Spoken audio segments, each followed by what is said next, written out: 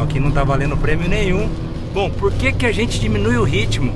Ó, a gente, né, os pilotos, é, o pessoal diminui o ritmo depois da, da última volta na corrida.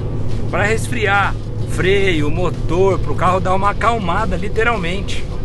Essa experiência em si é muito bacana. É, eu sempre fico bem, bem felizão quando rola esse tipo de experiência.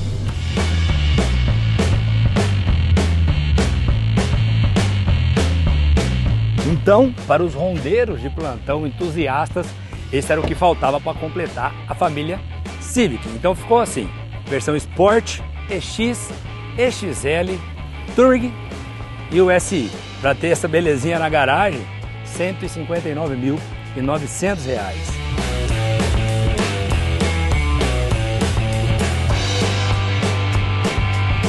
Então foi isso, galera. Essa foi a brincadeira de hoje a bordo do Honda Civic SI. Se você curtiu, deixa o seu like, se não, deixe seu comentário aqui abaixo, tá bom?